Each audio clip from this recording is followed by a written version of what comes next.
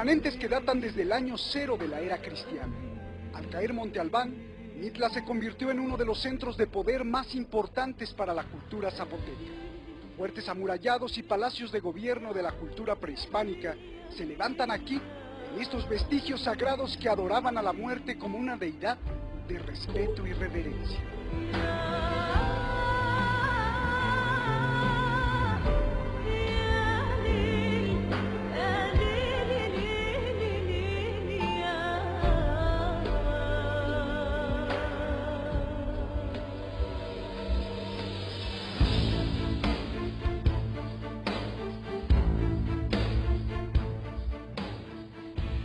Tumbas y cuevas que guardan los secretos de la cultura zapoteca se funden en el subsuelo de Mitla, donde hace más de mil años los pobladores ancestrales daban un sentido a la vida, con columnas y muros escondidos del sol, construidos en bóvedas subterráneas. Paisajes oscuros que exhiben la dualidad entre la vida y la muerte, entre la oscuridad y la luz, entre el esplendor y la realidad.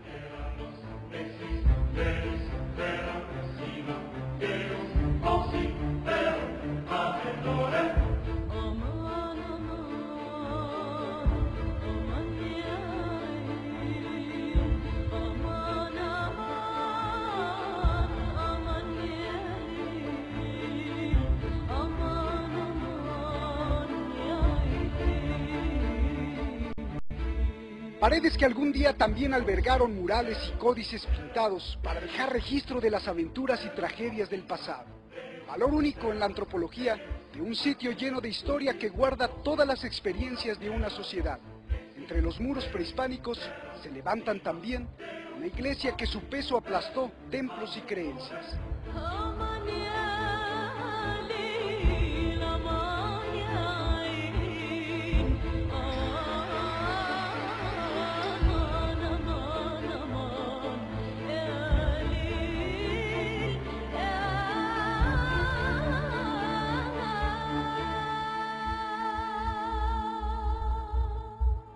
Mitla, sitio exacto del orgullo nacional y sin duda otra joya del baúl de los secretos de nuestra bella Oaxaca.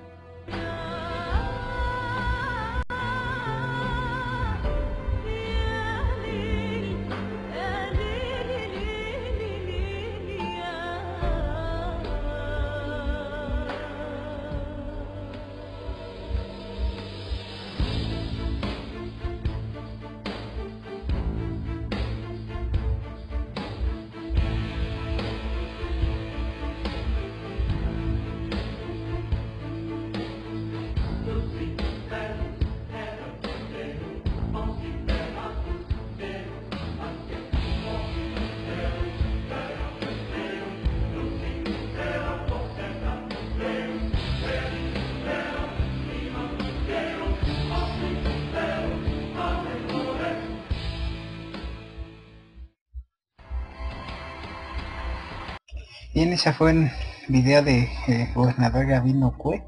Eh, y ahora vamos a ver una sobre eh, Toltecayo de Guillermo Marín, nada más mm, para precisar, eh, se dice es Mictlantecutli y su contraparte es Mictecacihuatl, no es Mictlancíhuatl, nada más para precisarlo, aquí está el video.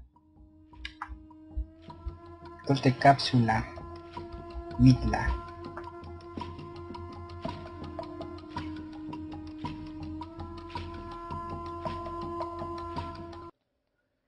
Mitla, el recinto de Mictlantecutli y Mictlantecíhuatl, el señor y la señora de la muerte. No se vive dos veces en la tierra. Vosotros, oh señores chichimecas, alegrémonos. No son llevadas las flores al Mictlán, solo en verdad las pedimos en préstamo. Ya en verdad nos vamos. Si es que ya nos vamos, en verdad dejamos las flores y los cantos y en la tierra ya, ya nos vamos. ¿A dónde vamos? ¿A dónde vamos cuando morimos? ¿Aún en verdad vivimos? ¿Aún hay un lugar de alegría donde se dé contento al dador de la vida? Solo aquí en la tierra, las fragantes flores, los cantos sean nuestra riqueza, sean nuestra mortaja con eso alegraos. Cantares mexicanos.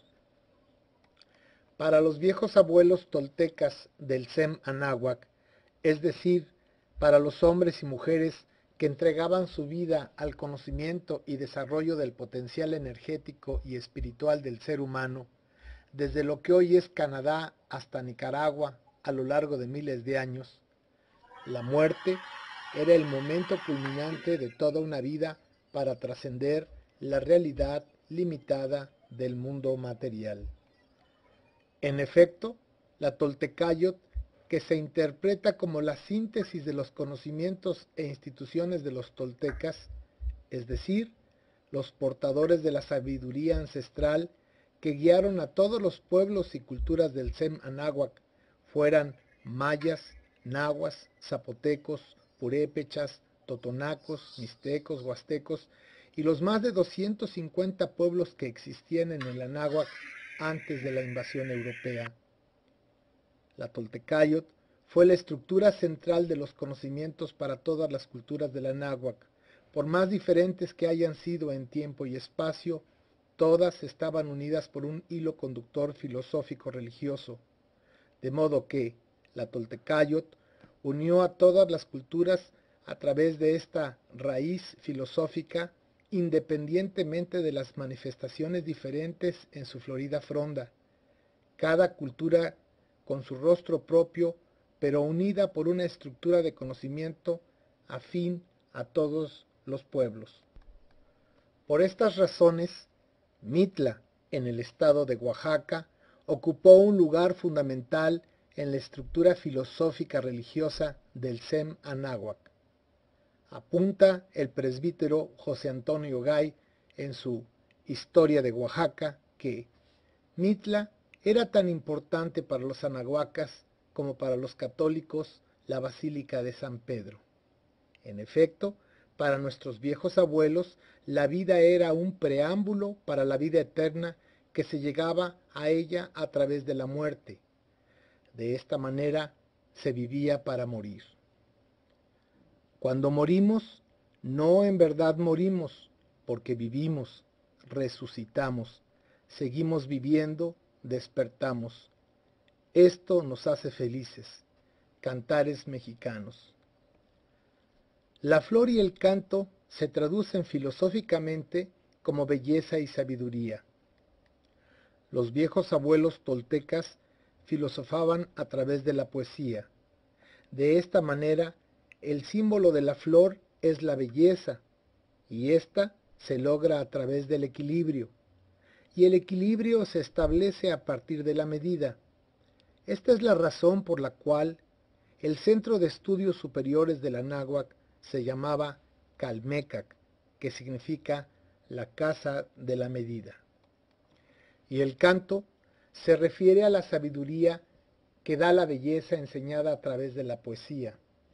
Los cantares son discursos filosóficos a manera de poemas que transmitían la enseñanza de la vida y el conocimiento que era invisible, innombrable, impalpable, razón por la cual a la divinidad única y suprema se le entregaban las flores y los cantos de sus amorosos hijos.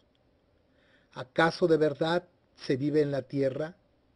no para siempre en la tierra, solamente un poco aquí. Aunque sea jade se quiebra, aunque sea oro se rompe, aunque sea plumaje de quetzal se desgarra. No para siempre en la tierra, solamente un poco aquí. Cantares mexicanos. La búsqueda de la razón de la vida, generada por una mente consciente y un espíritu atento, llevó a nuestros antepasados a descubrir las inconmensurables posibilidades humanas en el campo de la energía. Ellos diferenciaron dos clases de energía con las que estaba compuesto el mundo, la luminosa, implícita en los átomos que conforman la materia, representada simbólicamente con el agua, y la nombraron los pueblos nahuas Tlaloc, los mayas Chac, los zapotecos Cosijo, cada pueblo le daba su nombre, pero se referían al mismo concepto filosófico religioso. Y la otra energía con la que se compone la dualidad del mundo, la energía espiritual, la cual es generada por el ser humano a partir del despertar de su conciencia a través del desarrollo de su espiritualidad en el mundo material de todos los días. Esta energía la representaron como el soplo divino que le da conciencia a la materia y la simbolizaron a través de Ejecat Quetzalcoatl los nahuas y los mayas como Cuculcán. Tlaloc y Quetzalcoatl, par de opuestos complementarios que a través de la muerte logran trascender la realidad inmediata allá en el Mictlán, el lugar de los descarnados.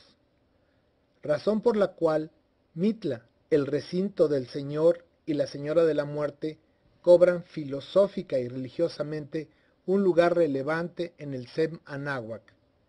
Mitla entonces representa la entrada al inicio del viaje misterioso.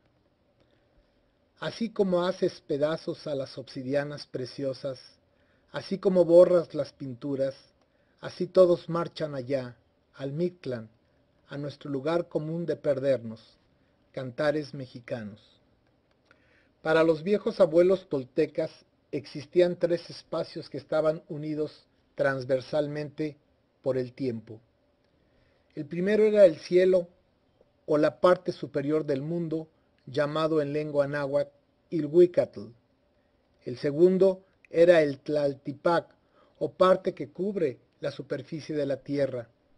El tercero era el Mictlán, referido al mundo que está abajo de la tierra.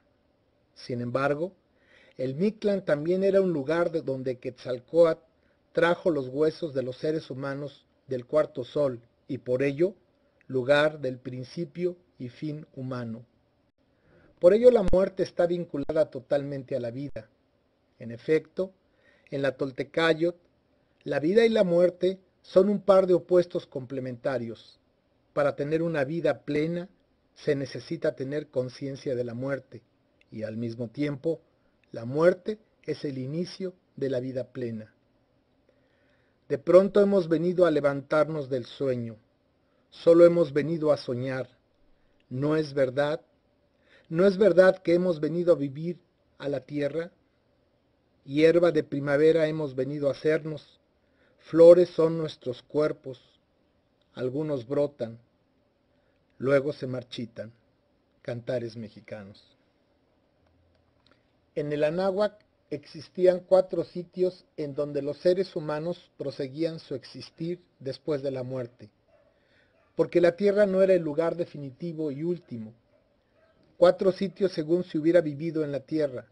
El primero estaba reservado para los guerreros y las guerreras de la muerte florecida, para aquellos seres humanos que habrían usado su vida como un campo de batalla florida para vencerse a sí mismos y decantar sus armas, floreciendo su corazón. El Ilhuical Tonatiu era el lugar donde los guerreros acompañaban al sol en su lucha por ascender desde el amanecer hasta el cenit, donde eran recibidos por las guerreras que lo acompañaban hasta el poniente, en donde penetraba al Mictlán para luchar contra las fuerzas de la oscuridad, para salir victorioso por el oriente e iniciar de nuevo su camino. El sol era el guerrero ejemplar, que a cada momento cumplía eficientemente con su responsabilidad y su destino, ejemplo para los seres humanos, para usar su vida como un campo de batalla para florecer el corazón y trascender.